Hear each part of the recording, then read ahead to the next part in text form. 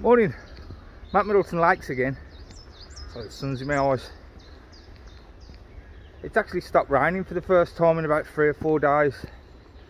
So I thought I'd make the most of it and um, see what I could get. It's actually due this afternoon. But I'm not holding any high hopes for today because so far it's absolutely dead. I've been out for about 20 minutes and I've hardly seen anything. But I don't know, if I get one shot, I'll be happy with that. Well, the weather started off alright, the clouds are rolling in and the wind's picking up and I still haven't seen much. So I'm going to make the most of it and get over to like the lakes before it gets too windy and too cloudy. Hopefully I'll get some more shots of, uh, I don't know, some warblers or, I don't know, maybe a pelican as you can see not a lot going on. And I put the hat on it's windy up here. Um yeah I don't think I'm going to do too good today. But if I get a shot of something good I'll be alright if it's just one which I've already said. Just one will do. One good one I've just missed some um, oyster catchers flying directly at me.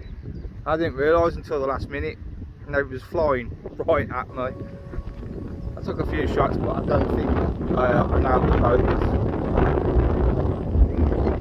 To walk up the top where the little birds are because I think it's a bit windy up here for the birds on the uh, water if I'm honest.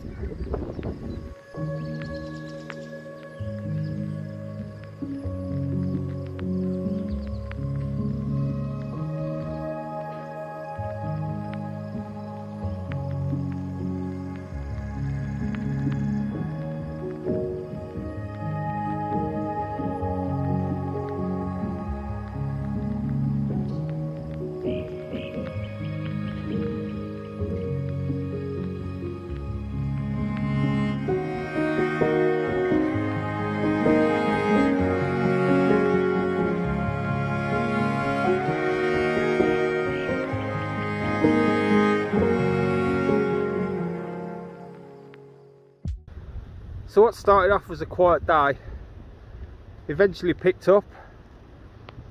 I got a few shots I think and uh, probably the best group photos I've ever got.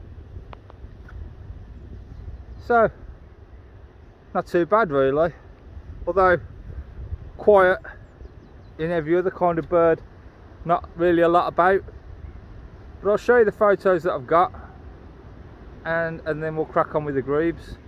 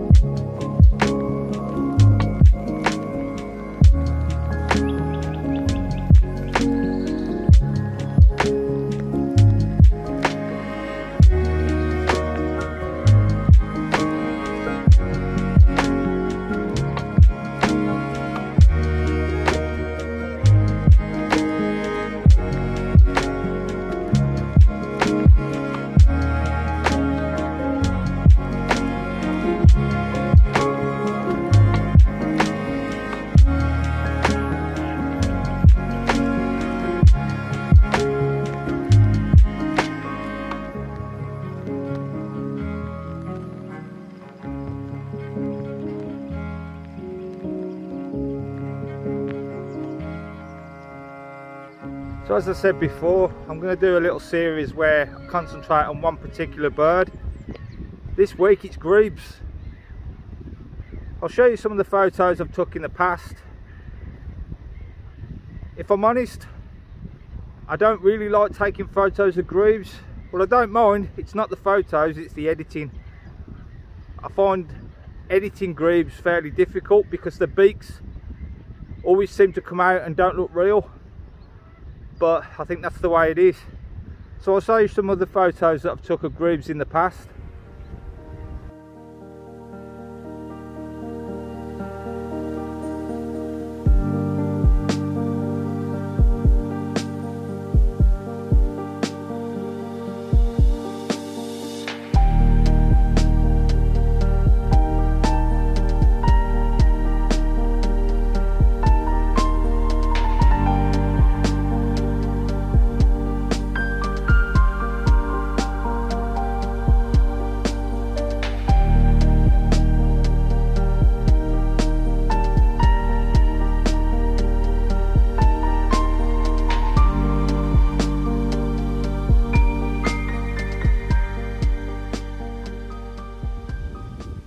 I got my shot of the day. A great crested grebe. It was um, the closest shot I've ever got of a grebe, so that's why I'm kind of hoping it's my shot of the day. The lighting wasn't the best, but it wasn't too bad. Um, I'm gonna have a quick look in the hide, and then I'm gonna come out, and if the uh, if he's still there, then I might get the uh, tripod out and do a few better shots if I can. So let's go and have a look in the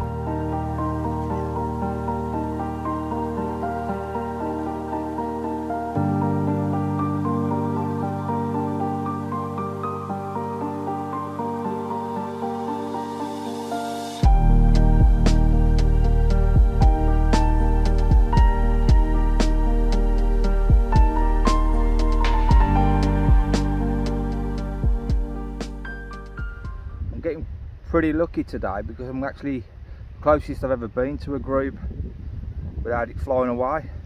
So I'm hoping these photos will turn out pretty good. As you can see the grebe is in the middle of the frame. And I'm using my camera today on a tripod to lower the ISO I've got the shutter speed down to one thousandth of a second and the ISO is at 800 but I'm trying different settings at different apertures just to see what comes out the best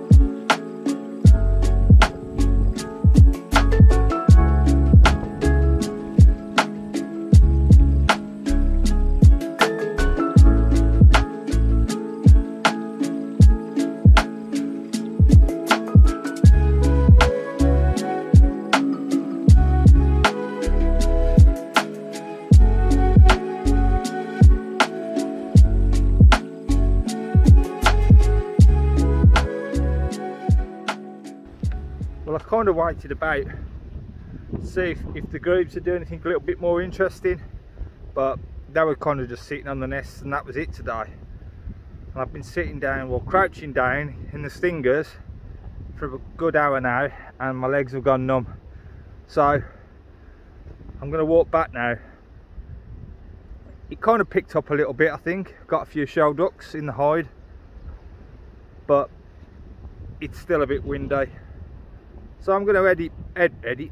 So I'm going to head back now, see what I've got, um, and then I'll uh, I'll show you how I edit one of the photos.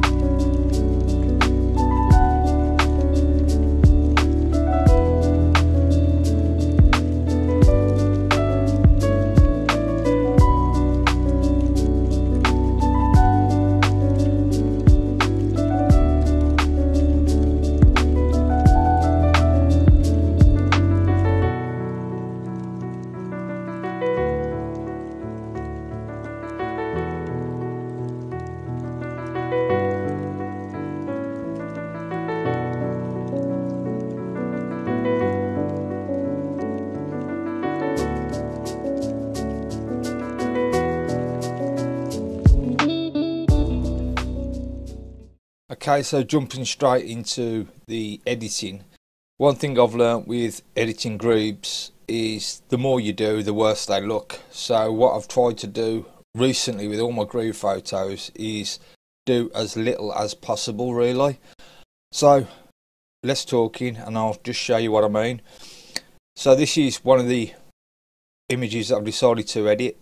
Um, the first thing I do is go to the profile settings and I'll set it for Adobe Color. Once in Adobe Color, um, I'll increase the shadows around about there. Decrease the highlights if they're needed. I'm always keeping a high, my eye on the histogram that don't blow anything out, but it's more or less okay, I think. I might be able to just increase them shadows a little bit more. Yep. Um, then I'm going to crop it. Try and keep the bird level.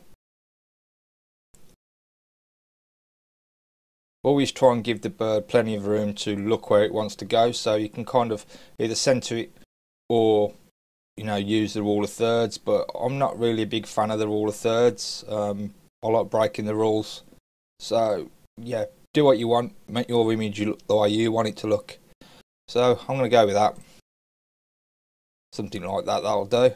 Um, first thing I'm going to do is run it through Topaz denoise so edit in and then Topaz denoise most of you that have watched my videos already will notice I use this a lot. I really do rate this program.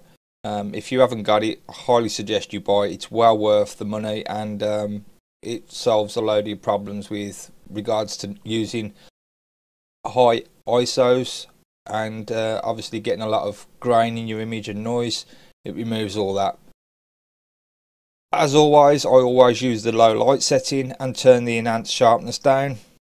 I more or less half it to what it tells me it needs. So that's what I'm going to go for.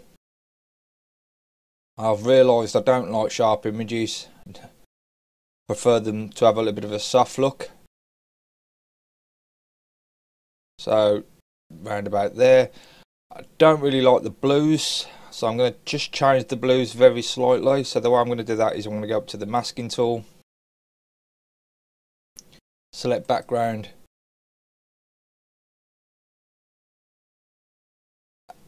then I'm going to slightly change that blue a little bluer yep that'll do mate. And then I'm going to create new mask and select subject. I always edit the two items the background and the actual main item separate. I don't use global settings for the lot.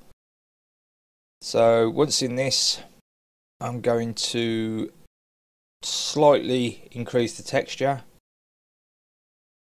As I said you've got to watch what you're doing with grebes it's the beak the beak looks kind of plastic. Um, and I find that you can really overdo it in this.